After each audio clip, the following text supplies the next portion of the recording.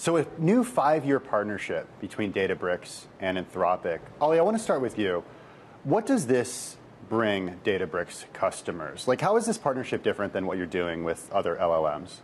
Yeah, what it really means is that you can use securely Anthropic uh, inside Databricks. You can get all that intelligence, especially all the uh, programmability. These models, you know, Claude are really good at programming, and you can use that for data science, and you can use it together with all the data that we have. So uh, enterprises have been storing their data with Databricks uh, for the last decade.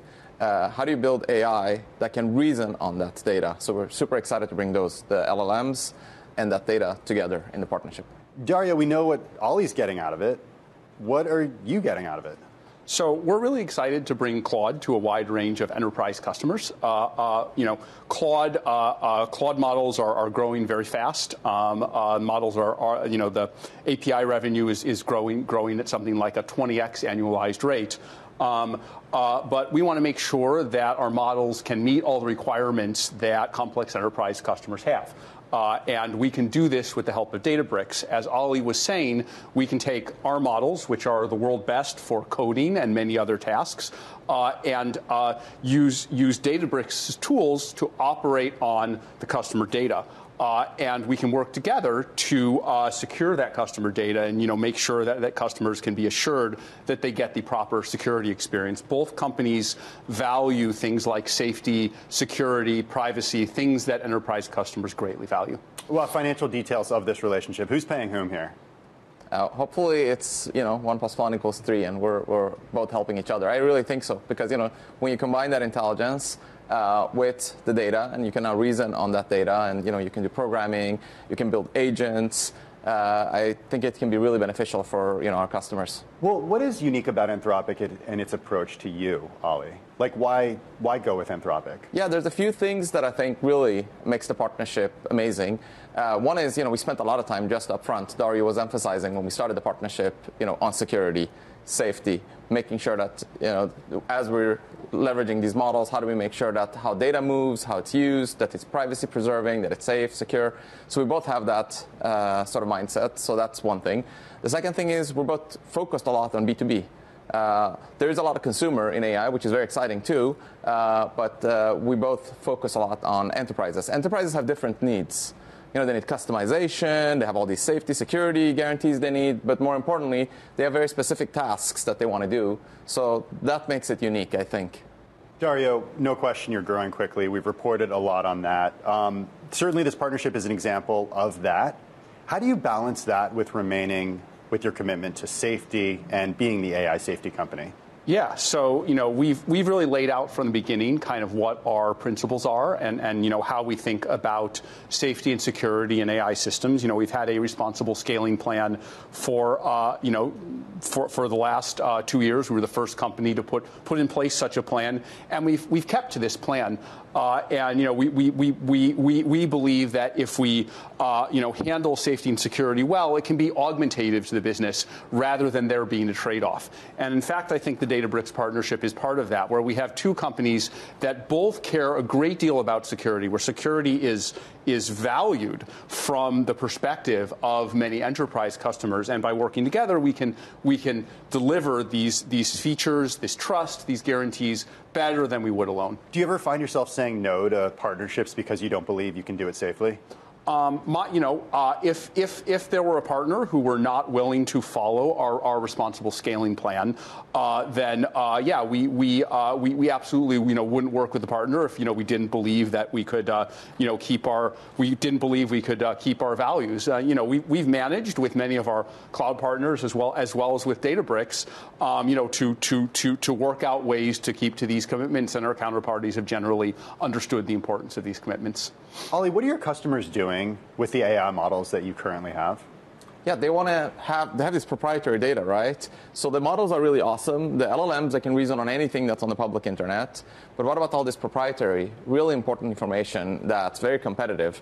How can you get the AI to reason on that? And one of the things they're really excited about building are agents. They want to build agents that can automate more and more tasks and they can do more multi-step, sophisticated reasoning. Uh, that's what they're excited about. Uh, but for that, the agents need to be able to reason on that data. So how do you actually customize the agents to make them understand the data that they have. So that, that's one of the main use cases. Um, and with that, they can do many, many things. Like in each industry, there are exciting use cases. You know, in financial services, there's a lot of claims data that they want to go through and understanding risk. In healthcare, there's medical records. They're very sensitive. They want to be able to reason on those. Uh, you know, pharma companies want to de- develop drugs. So uh, there are a lot of exciting use cases, but it comes back to that data and combining it with LLMs. Does it get you closer to an IPO? Uh, we're ready to IPO, as I've said before. Uh, you know, when the time is right, we will go. But right now, we're focused on maximizing the opportunity for our customers. What does the, the time is right mean? What do you need to see? Is it the macroeconomic environment because you say you're ready?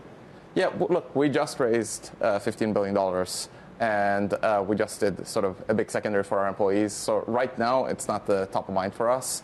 Uh, but it could happen, you know, probably earliest next year. Uh, but we don't have a set date. We're, again, mostly focused on just uh, seizing this opportunity for our customers. Dario, you've been growing quickly. We've reported on an annual revenue run rate last year of about a billion dollars. That was late last year. How's that trending for 2025? Uh, like I said, it, has been growing fast. If you look at the instantaneous rate of rate of growth, um, it's it's amounting to a 20x per year right now. I don't really believe that will increase by tw- by 20x this year. That would that, that, that would be almost that would be almost impossible. But at this moment in time, that's the that's the rate at which things are increasing. Where is the fastest area of growth for you? Um, I, you know, I think I think by far and away the fastest area, area of growth is code. Uh, uh, Claude models um, are better than anything out there by a wide margin in terms of how they code. We we uh, power a large number of players in the space, including uh, Cursor, Codeium, Cognition, GitHub Copilot, Vercel, um, SourceGraph, many many others that I'm that I'm not uh, even mentioning, and we're starting to build an ecosystem around this area. Now, all that said, we also have partners in many other areas. Uh, we have partners in the financial space. We have partners in the uh, in the biomedical and scientific research space. We work with companies in the legal and productivity space. So it's it's pretty broadly spread. But among those areas, I think code has by far been been been you know growing the fastest. I'm curious about your uh, each of your views on the administration and what we've seen thus far out of Washington. David Sacks, he's crypto and AI czar. Ali, what does he mean for your business? I think it's great that we have people that actually understand the tech uh, that are in the government. I think it's early days, so uh, you know we're working together to figure out what's the best way to bring value to our customers. How are you working together? Are you are you in touch with him? Uh, yeah, I mean, we've, we've uh, you know, we've given our feedback on, you know, AI policy and other things, and they're requested that. I mean, I think the government's requesting it broadly uh, from the industry. Uh, so we're excited.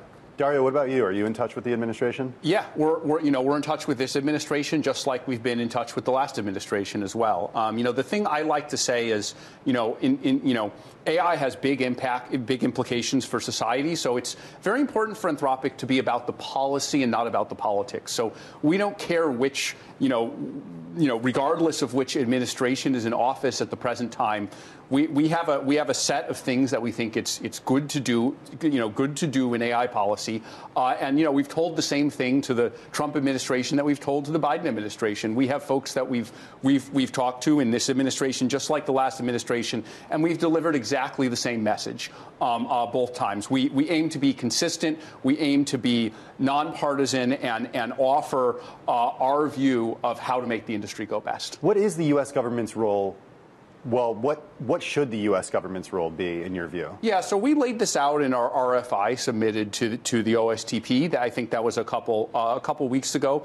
Um, but uh, you know, things that we've emphasized include I won't get the complete list here, but include uh, export controls on chips to China, um, testing of models for national security risks such as bio or or, uh, or cyber risks. Uh, the government should have a role in provisioning as much as much energy as possible. Um, the government should help to secure AI labs. We're very concerned about security. We talked a lot about security, you know, as part of this this partnership. But another kind of security is, you know, we're, we're worried about our our uh, our models and our technology being stolen. So those are those are a few of the areas where I think the government can have a constructive role. Look, you've been outspoken, Dario, about the dangers of AI. Is there a single use case that keeps you up at night? A single dangerous use case? Yeah. Yeah, I would say it's the misuse of biology. Um, you know, I think there's enormous potential for models to be, you know, properly used in biology. We did a you know case study with Novo Nordisk, who's the Ozempic maker, showing that uh, you know clinical study reports can be compressed from nine weeks of human work to only three days of work with the models. So there's like tons of you know really positive use cases, but uh, you know the, the, you know if, if you can do something really powerful and positive, it's probably possible to do something negative as well. So you know we're we're monitoring very carefully for those risks. Ali, you're in this world also. How do you think about security concerns when it comes to this type of technology? Yeah, so look, we have thousands of customers. They have many different use cases on Databricks. It's really important to make sure that those are adhering to the law, right? You don't want a use case that's abusing this technology. So then the most important thing for us becomes is the infrastructure secure? You know, we don't want to get hacked. We don't want someone to abuse uh, the system and use it for a use case that would be illegal. That's the most important thing for us. And then, you know, then what the jurisdictions are in every country, that depends. Uh, but we want to definitely make sure that we're protecting uh, the use cases, the customers, and what they're doing on the platform. So more so about protecting your own customer data rather than misuse of this type of technology? Yeah, so look, we, we operate at the different layers of the stack, right? But you're uh, in this world. Yeah. I mean, you're somebody who understands this world. Yeah. Yeah, so Anthropic is, you know, provides the LLMs we build the use cases where we customize a lot of that data. We call it data intelligence, where you customize the AI so that they can reason on that data. So then protecting that data is the number one concern for us. Uh, then the use cases, I mean, we have hundreds of thousands of use cases that our customers are using Databricks technology to implement. I mean, we just that was a joint customer, Novo Nordisk, that we just mentioned. Uh, so those use cases, uh, you know, they're of course regulated by different countries, and uh, I think that's the right way to approach it. Like, how do you regulate the use case and make sure that it's not being abused? Um, you know, I think that depends on the regulation of each jurisdiction. Um, it's nothing that we directly uh, influence. Dario, when it comes to policy, you mentioned export controls on U.S. chips and U.S. technology. You've also expressed that the concerns around DeepSeek are overstated. Do you still believe that? Why do you believe that? Yeah, I mean, look, our, our view is there are several things going on at once. Uh, the cost of producing a given quality of model intelligence has been has been going down for years. It's nothing nothing new, um, nothing new to DeepSeek. While at the same time, companies are spending more and more to train the models because they get so much more for any given for any given unit of intelligence. So so DeepSeek is it's not a break from the past. It's not a totally new discovery. It's just it's just another data point on the curve that all of these companies have been have been drawing, right? That you know us and several other companies in the U.S. have been drawing that curve for for the last five years or so. The only thing that's different about DeepSeek is for the first time there's a company in China that is uh, you know able to draw points on that curve, whereas previously only companies in the U.S. could do the same. So I think that that is a matter of concern for for national security, and you know we should we should take it seriously as you know as, as kind of you know shown by my advocacy for for export controls. But it's not something totally new. It doesn't undermine the economics of the industry. They're they're just they're just another competitor and a reasonably good one.